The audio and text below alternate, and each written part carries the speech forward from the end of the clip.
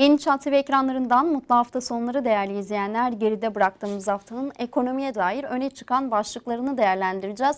Ama hemen öncesinde yayın konuğuma dönmek istiyorum. Finans analisti İslam Memiş bizlerle. Hoş geldiniz yayınımıza. Hoş bulduk. Yayından diliyorum Kübra Hanım. Çok teşekkür ediyoruz. Evet, 2021'in sonlarına doğru yaşadığımız döviz travması adeta devam ediyor diyebiliriz. Çünkü savunma kırılıyor gibi e, bu hafta özellikle devamlı yükselişle yol aldı dolar TL. E, FED tutanakları da geldi. Bunu da konuşalım istiyorum. 2023'ün ilk aylarında döviz kurları nereye doğru gidiyor? Bu yükseliş devam edecek mi sizce? Önce küresel piyasalardaki değerinden bahsetmek lazım. Sonra yurt içi piyasalarındaki değerinden bahsetmek lazım. Ee, uluslararası piyasalarda doların gücü biraz daha azalmaya devam ediyor. Burada FED politikalarının önemli bir etkisi var. Amerika Merkez Bankası Fed'in 2023 yılında iki kez faiz artırması bekleniyor. Şubat ve Mart aylarında 25-25 toplamda 50 bas puanlık bir faiz artırımıyla kenara çekilip piyasaları takip edecek ve dolar endeksinde de muhtemelen e, hı hı. yılın ikinci çeyreğinde 100 seviyesinin altında bir rakamsal değer görebiliriz. Bugünlerde 105 seviyesinde olan dolar endeksinin 92-94 seviyesine kadar geri çekilme ihtimali çok kuvvetlendi. Yani dünyadaki yatırımcılar dolardan yavaş yavaş uzaklaşıyor ve doların e, uluslararası piyasalardaki e, değer kayıpları yılın ikinci çeyreğinden itibaren başlayabilir diye tahmin ediyorum. E, bugünlerde 105 seviyesinde bir direnç seviyesi var ama ee, yine tarım dışı istihdam verisi ve işsizlik rakamları burada önemli bir etkiye neden olacaktır. Veri nasıl gelirse dolar endeksinde göreceğimiz rakamsal değerlerde de o şekilde yoluna devam edecektir. E, yurt içi piyasalara baktığımız zaman da baskılanma süreci halen devam ediyor. Hı hı. Ekranlarda 18.76 lira seviyesinden haftayı tamamlayan bir kur var karşımızda. E, ama serbest piyasalarda 18.80-18.90 lira aralığında bir kur olduğunu gözlemliyoruz. Ancak ee, özellikle bu hafta Sayın Hazine ve Maliye Bakanı'nın e, özel bir televizyon kanalında bir açıklaması vardı. Bu açıklamasında şu cümlelere yer verdi. Biz kurun ne sert bir şekilde düşmesine ne de sert bir şekilde yükselmesine müsaade etmeyeceğiz. E, ve bu süreç böyle devam edecek cümlesi vardı. Demek ki burada kontrolü mekanizması onlarda ve dolayısıyla da hı hı. yükseliş veya düşüş yönlü bir hamle beklenmemesi gerekiyor. Ancak son bir yıllık sürece baktığımız zaman da özellikle geçen yıl e, 2022 yılının Aralık ayında özür dilerim 2021 yılının Aralık ayında yaşanan kur atağı e, 18.80 lira seviyesiydi. 2023 yılının Ocak ayına geldik ve dolayısıyla da o 18.80 lira seviyesinden dolar alanlarında halen e, bir kar edemediklerini, elinde e, bir yıldan fazla da bulunduklarını gözlemliyoruz. Yani doları e, dolar sahiplerinin bir getirisi maalesef olmadı. E, bu sürece baktığımız zaman da elindeki doları farklı enstrümanlara geçirenler veya dolardan çıkış yapıp borsaya girenlerde ciddi bir getiri sağlamış oldu. 2022 yılında %196.87 seviyesine kadar getiri sağlayan bir Borsa İstanbul 100 endeksi ve e, çok ciddi anlamda da değer kazanmış oldu. Altın ve gümüş fiyatları da e, değer kazanmış oldu. Ama kur tarafında da e, maalesef 18 lira seviyesi üzerinde alım yapanlar burada bir kazanç elde edemediler. Tabii ki kur ataklarına baktığımız zaman da yine e, iç piyasalarda e, şu merak ediliyor. E, enflasyon rakamlarına yansıması nasıl olacak? E, çarşı pazara yansıması nasıl olacak gibi çok şeyler merak ediliyor. İşte enflasyon rakamlarındaki düşüşler, politika faizinin tekrar tek haneli olması, kurum baskılanma süreci e, şimdiden sonraki süreçlerde özellikle seçime kadar olan süreçlerde çarşı pazara çok yansımayacağını ben düşünüyorum. Hatta e, bazı hı hı. süpermarketlerde, marketler zincirinden çeşitli açıklamalar geliyorlar. Yaklaşık bin kalem ürüne sabit bir fiyat koydular ve bu şekilde süreci devam ettiriyorlar. Yine dün e, Ziraat Bankacı'nın Ziraat Bankası'nın yapmış olduğu tarım zirvesi vardı. E, özellikle üreticilerin ve e, bütçelerin buluştuğu bir zirveydi.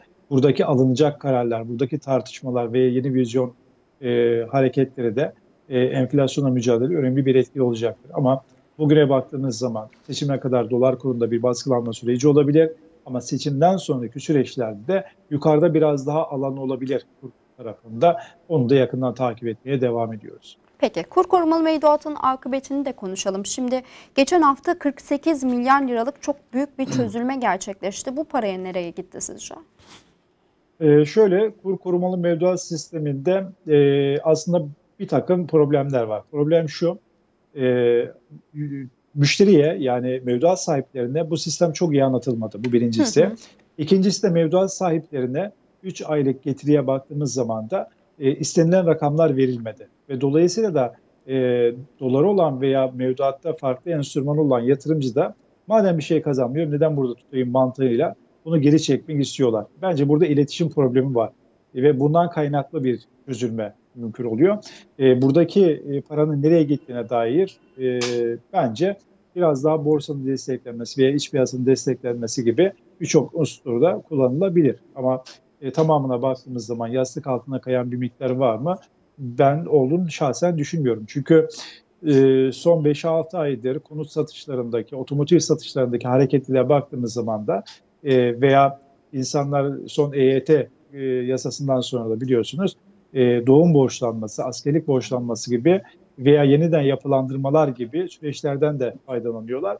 Bence nakitler bu tarafa kaymış. Yani yine iç piyasada döndüğünü düşünüyorum.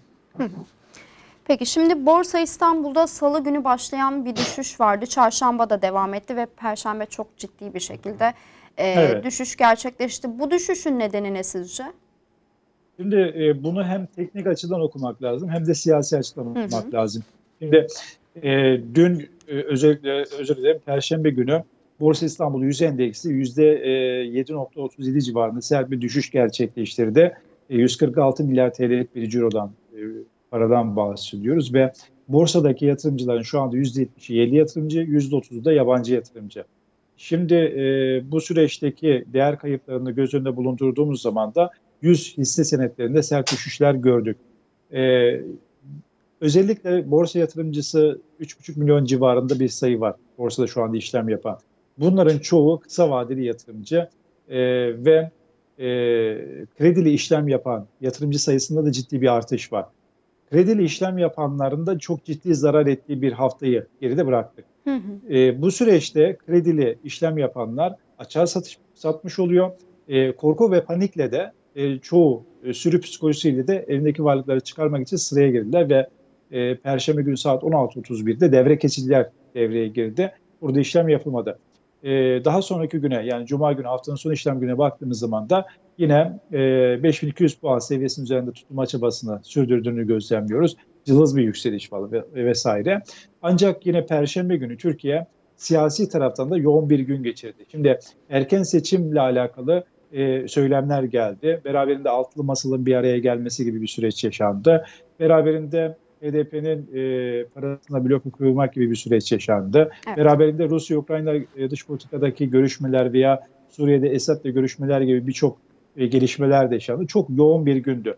İşte bunları da fırsat bilenler zaten çok agresif bir şekilde yükselen borsayı da bir kar satışı yapmak için fırsat kolluyorlardı. İşte bu haber akışlarında fırsata çevirmiş oldular ve o hızlı yükselişler aslında yaşanmış oldu. Şimdi aslında borsaya yeni girmek isteyen ama çok tedirgin olan bir kesim var. Özellikle bu manipülasyonlardan kaynaklı. Borsaya yeni gireceklere bir uyarınız var mı? Sıfırdan tanışacaklara. Tabii ki e, borsa tarafını e, kesinlikle bir oyun piyasası veya bir kumar piyasası olarak görmemek lazım. Bir yatırım piyasası olarak görmek lazım. Alımlarda ve satımlarda mutlaka kademeli alım veya kademeli satım e, kültürünü insanların kendini eleştirmesi lazım. Kredili işlem kesinlikle yapmaması gerekiyor ve uzun vadeli yatırımcı olması gerekiyor. En az 6 ay piyasada bulunması gerekiyor. Eğer bu standartları uygulamazsa maalesef ne para kazanır ne de istediği gibi varlıklarını yönetebilir. Dolayısıyla e, Borsa İstanbul tarafında en az 3 hisseyi kendine belirlemesi gerekiyor ve e, risklerini dağıtması gerekiyor bu piyasada. Tek bir hisseye yatırım yapmaması gerekiyor. En az 6 ay beklemek suretiyle de bu piyasada bulunması gerekiyor. Son 20 yıllık getiriye baktığımız zaman da borsanın performansı gayet güzel. Özellikle 2022 yılında %196 nokta e, neredeyse %200'e varan bir getiri sağlamış oldu yatırımcısı. Bence şu endeks tarafında çok ciddi bir yükselişti ve e, borsa çok ciddi anlamda kazandıran bir piyasa. Önemli olan kurallarına göre oyun oynamak. Buradaki kurallarda e, riskleri dağıtmak, sepet yapmak, beraberinde uzun vadeli yatırımcı olmak, kredili işlem yapmamak. Bunları uygulayan herkes borsa tarafında para kazanabilir. Peki şimdi altını konuşalım istiyorum. Ee, o da yükselişte, altın da yükselişe geçti.